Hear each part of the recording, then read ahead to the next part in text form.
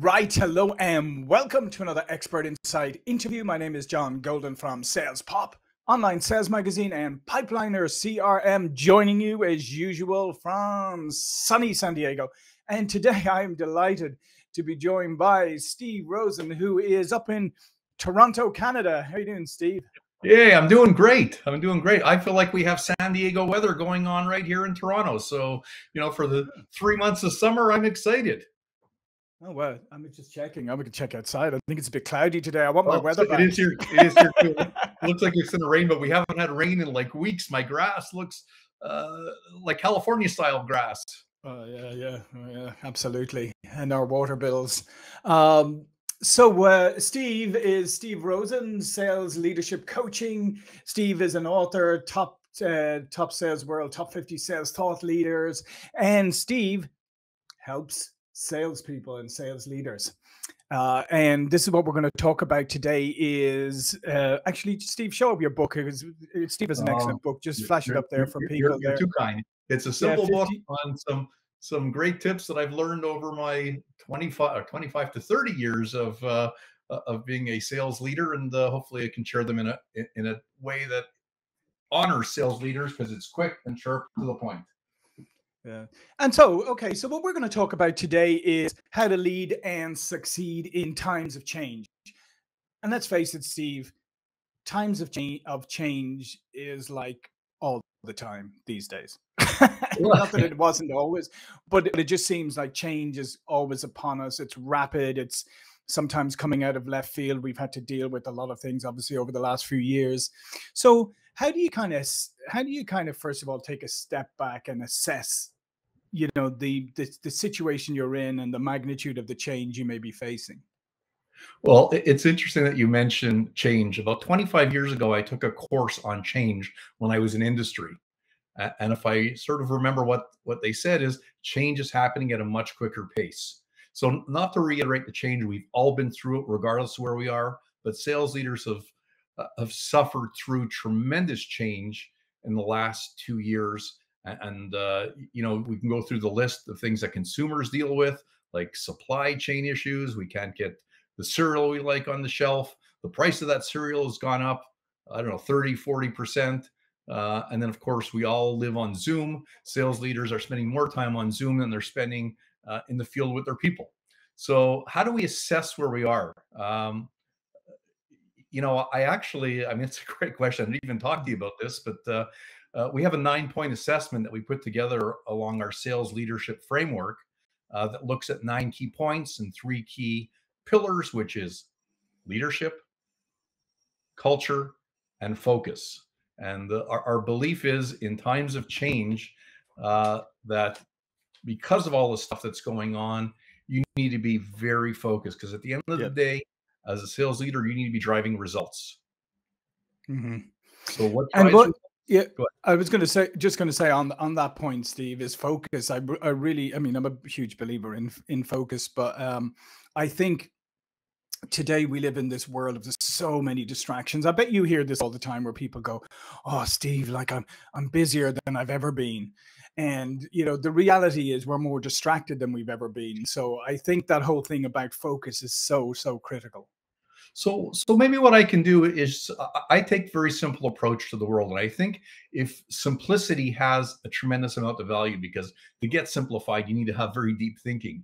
And uh, what we do with sales leaders, I mean, sales leaders that I just start working with, before we get into how to be a better leader, which some of them are pretty good at, anyways, how to build your culture, we work on focus. And one of the first things we work on is very simply looking at where you spend your time, right? Because we all have the same 24 hours in a day, yet some people are rocking it and some people are struggling saying, Stephen, I'm working harder than I ever worked. Like you just said, you know, 60, 70 hours a week, but not getting the results I desire. So for your audience, John, here are basically two things they can do. Uh, pull out their calendar. That's not one of them. And then, uh, actually, before they pull out their calendar, what are the three things they can do to impact results. And I'm talking this can be done at any level, right? It could be done as a sales leader, it could be done as a uh, sales rep, be done as a president of the company. But what are the three activities that have the biggest impact on results? results results generating activities rgas is what i call them mm-hmm. and and you know probably i'm just guessing it's coaching it's having meetings to keep their people accountable and focused and it's meeting with customers potentially so if those are the three key ones let's look how much time you spend in the next week or how much time you have scheduled the next week to do those three activities. Yeah. Probably very little because right i mean the reality is people want to do a great job but they're too busy dealing with uh, pardon my french the caca that comes with mm-hmm. day-to-day work. And then what are the three things that are sucking their time so quite simply you know maybe it's zoom meetings that you don't need to be involved in but they invite you because you're head of sales or because you're the sales manager and you have good impact uh, you know maybe it's some other meetings maybe it's looking at reports and what i basically suggest is you do a switch you you basically put out your time sucking activities and add in the three things that are going to generate results for the end of the year. Mm-hmm. Simple as that. Yeah, um, just let me pick up on let me pick up on the the one of the ones you mentioned there is coaching, right? Yes. And and this is uh, and and what I've seen in the past uh, often is sales leaders, you know, obviously, you know, understand the understand the, the importance of coaching and all of that. However, if you are going to if you're going to coach your salespeople, you actually have to coach them, and you have to do it systematically and obviously regularly. Because what I've often seen is like a sales leader will go, okay, I'm going to start coaching. Hey, Steve, we're going to do a coaching session, you know, once a week or once a fortnight or whatever. Let's put on the calendar. And what do I do? I keep moving, canceling it because other stuff gets in the way. And eventually, you know, maybe we do one or two, but there's nothing systematic. But eventually you're like, ah, he doesn't really care about it or she doesn't really care about it. Therefore, I don't really care about it. Okay. So great point, John. Uh, so there's two things here. Number one is the commitment to results generating activities. So it's not just mm-hmm. putting it in your calendar once. Once we work with clients, especially new ones who are just understanding our system, uh, we have them schedule out for the next three months who they're going to see and when. Okay, so it, it does require coaching is about regular intervals of observation and development. The other thing that doesn't happen, which is not so difficult to do, is coaching without a plan is mm. what I call flavor of the day coaching. And what flavor of the day coaching is, well, I come out with you, whatever date today is, July 27th, I think. Oh, 28th. Time flies when you're having fun. Uh, so today I say, hey, John, you got to work on your closing skills. And the next time I come out and work with you, say, hey, John, you know, you could do a better job handling objections. So to me, the focus part of coaching, because my whole model is around focus, is picking one or two areas mm-hmm. to focus on and building a plan to get there where each time the sales manager interacts with their salespeople, whether it be a, a, field visit, whether it be a phone call, they're checking up on their plan to coach. I call it a coaching journey. So maybe Stephen or John is working on one thing, maybe he's just working on how to handle objections. And the focus for the next six months is how to handle objections. It's not about uh, product knowledge or other things. It's focused on one particular area. Yeah, and I guess the other part of the other part of uh, coaching is actually knowing how to coach, right? Ah. Because sometimes people, because sometimes people's only experience of coaching sometimes is what they had in high school or something or whatever, or their, their sports teams or something like that, and uh, you know, so and let's face it, that's more telling rather than coaching. It's going to be here, Steve. This is what you need to do. Um, but when it comes to working with adults and maybe working with salespeople, is you have to know how to really coach, and coaching is not telling. Uh, one hundred percent, John. So, so the, there, there's I don't know what the number is. I think it's there's three key shifts to make to be an effective coach. One is, as I just said, coaching starts with a plan. When you build that plan, the individual has to be committed to working on the areas that they're focusing on. So part of it is is not saying, "Hey, John, you got to work on your closing skills. It's about mm. asking John, John, is there one or two areas that you'd like to work on? that'll have a positive impact on your performance. What are they? And how can we get there? And, and really, what I'm describing to you uh, is a shift from telling to asking effective questions with the belief is that the person you're coaching has the answers. As the leader, you don't have to have the answers. We all think we do uh, have the answers, and maybe our answers are better. They're not. It's about asking the individual. So a great coach is good at facilitating um, the person's thinking and getting them to think as opposed to telling them what to do because first of all no one wants to be told what to do so yeah it goes in one ear and out the other um yeah so that, that's and, one of the big mindset shifts yeah and i and i think the the other part of that steve as well is uh we can we can eh, because it's human nature right? We can get very focused on well here's the things you really need to work on steve that maybe you're not doing so well. What we don't often do is say oh steve you're doing this part really well and actually we sh- we could even we could even improve us even more be fantastic like so that whole approach of because i always find it it's like performance reviews right? When people do those what do they do? They say steve here's the one thing you did well last year and here's the 52000 things you need to work on. So, so actually john along the lines of asking versus telling Mm-hmm. Uh, what we do in our coaching, our, our focused coaching methodology, is we ask the individual what are some things you're doing really well? Because right. part of it is is you're only there with them if you're a really good manager maybe you're there with them two times a month maybe you're not maybe it's one time a month. So we want them self-evaluating and the easiest people to coach are the ones who are self-aware. Sometimes people aren't self-aware so we have to maybe help them a little bit more but really it's about asking them what's working really well? And one of my biggest questions which is very different than most is if there's one area that you would like to work on, I'm not saying if it's good or bad, right? I haven't, uh, uh, as long as it has a positive impact on your performance, what would that be? So I'm putting the onus on the individual to select the area they want to be coached on and improve right. on. So it, it yeah. forms a commitment. Yeah, that's such a different that, that's such a different approach than you know than you know you saying okay here's what you're going to work on and here's ah, what and I, I, yeah. and I, and I, I, I like that uh, I like that a lot but you mentioned something really critical there about the self-awareness piece okay? Because me for me self-awareness is the threshold uh, that you once you cross into being self-aware everything gets better. Um, but that's a hard threshold often and unfortunately most of us cross that threshold probably later in life than we would care to so how how is a sales coach can you help when there's a lack of self-awareness because i always feel like that's the hardest thing to overcome uh, yeah, I, I, mean john you've asked these are great questions and i'm not just saying that to to make you feel good but uh, hmm. there are some techniques to do that and, and, in fact one of them that i use or maybe just i'll lay out a model if you think of a triangle and you think mm-hmm. on one side of the triangle um, well you, you've got three people one who is self-confident one who's arrogant, and one who's a self doubter. The confident person knows what they do well and knows what they don't do so well, self aware, easy to coach. Then you have the arrogant person who probably does 90% of their job well, but applies that to the 10% they're not doing so well on and says, Oh, I do great at everything. And then you've got the self doubter who looks at the 10% they don't do so well and applies it to everything. Oh my God, I'm so bad, blah, blah, mm-hmm. blah, blah. So, so how do we help someone self-evaluate? If they're self-confident, eh, life is good, right? They're, they're the easiest people to coach because you know I can probably get better at X, Y, Z. Yeah.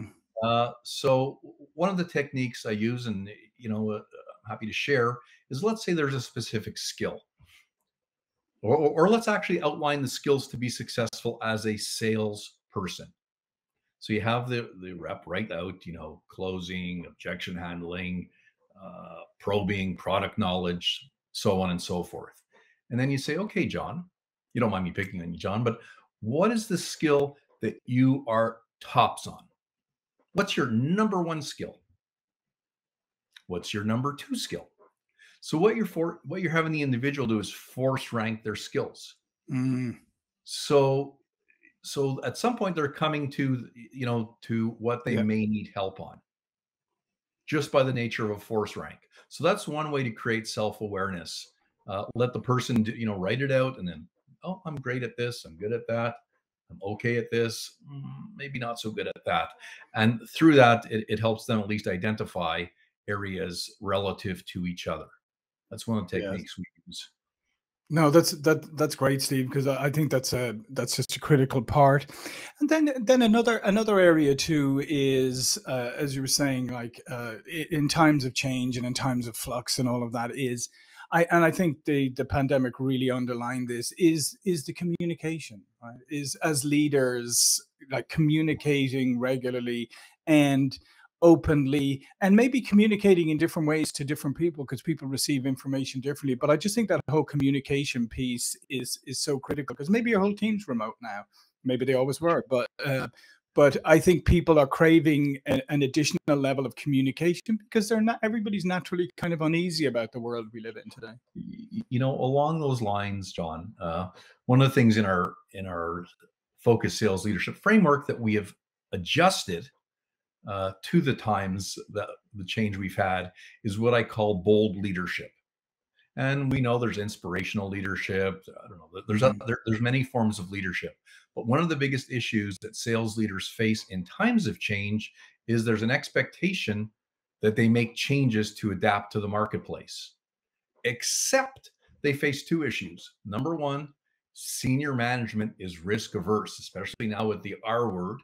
Uh, mm-hmm you know as much as you want change they're actually adverse to to yep. accepting your change and two your people are so overwhelmed they think oh my god stephen not another change so, yeah. so one of the communication points of a bold leader is a bold leader understands what needs to be done but also has the communication skills to get it done which means selling senior management on an idea to improve.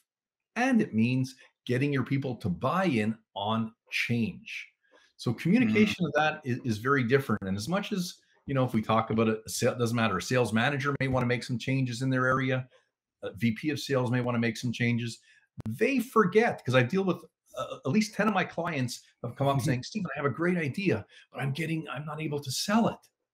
I, and so I, I came up with a formula for bold leaders uh, because we need to be bold. We, we, we, we have to find ways to overcome the resistance and to sell upwards the communication. If you want, I'm happy to share that with you. Mm-hmm. Is we forget to come prepared with a well laid out plan, right? Mm-hmm. And, and, if you don't have a well laid out plan, uh, you know that covers who, what, where, when, why, how much, uh, your your chances are you're going to be shut down by senior management you always need one advocate in the room to help you push your ideas forward. If you haven't got the cfo hmm. on board or, or you know many of the what i call sales prevention departments you, are familiar with those? Mm-hmm. of course. Legal uh, compliance uh, if you don't have what you know you need at least one person to help you move things through in the boardroom. And you know when there is a no i don't accept the no. What i what i default position is let's pilot. Let's do it in a small area. Right. So maybe you don't get the whole idea sold, but you get proof of concept moving forward.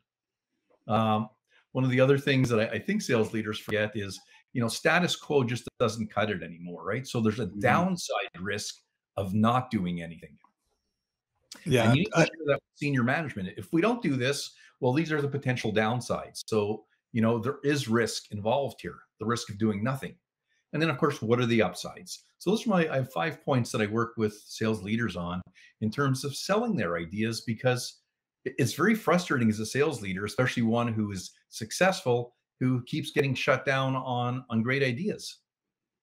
Yeah, no, it's it's it's very true. But I love the I, I love what you said there about coming prepared because let's face it. I mean, often we come up with ideas and we're so excited about our idea. Yes that we're saying, you know, let's have a meeting about this, and here's my idea. And you're right. Then somebody says, but what about this? And you're going, um, yeah, well, I haven't figured that piece out yet. But what about this? And before you know it, you just, you know, it disintegrates. Um, so that little bit of kind of stopping for a moment and saying, Am I ready to sell this? Do I have enough information? I think that's right. a fantastic point there, Steve. So, you know, I mean, it's, I always chuckle because you know, assuming if they're a sales leader, uh, they've had a successful sales career, and it's not mm-hmm. like they haven't done this before, but they forget. Maybe it's the excitement, maybe it's the pressure of uh, having to to move and to drive things. But if you have a well laid out plan, and I've worked with that with folks to okay, let's look at what you want to accomplish. I love, like, I can get the idea. I, have been around long enough. Oh, fuck, I love this. Uh, I just swear. Uh, I love this idea. And I get excited, but okay, how are we going to sell it? So mm-hmm. let's not forget that. And then, yeah. of course, I don't know how much time I have, John, but I get very excited about this. How do we lead the change? Because maybe that's what I, uh, you know, how do we get our people once we've got senior management, which is not always an easy task, but we've sure. shared some at least some good thoughts, and I'm happy to share if anyone wants to reach out to me. You know, how to sell an idea upwards, uh, but how do you get your team on board? Uh, and also, there's a skill to that, right? The, you know, part of it is bringing them in into the plan, right? Mm-hmm. Having them, you know, maybe you maybe you define the what's. You know, we want to accomplish this, we want to do this, we want to do that, and then involve them in the hows. How are we yeah. going to get there? Uh, again, I always believe selling is having that internal person or champion to support you uh, with your idea. So, in my old days when I was VP of sales, I had a great sales manager. Uh, his name's David, uh, and I'd always run my ideas by him. And he'd mm-hmm. say, "Oh, Stephen, we can't do this." I'd say, "David, you, you know, you're you're amazing," which he was. Tell me how I can sell this. Right, right right? And then I have David as my advocate or my champion with the rest of the sales management team. Even if it's if you're a group of reps, have one of your reps who's the champion who can yeah. help you uh, do that. Be ready. Yeah. You know, it's also preparation. Be ready to address objections. Uh, and then, of course, very similar to selling upwards. What's the impact for them? What are the upsides? And uh, as my old coach once told me, know the whiffums. What's in it for me? Mm-hmm. Yeah. Yeah, absolutely. that was my.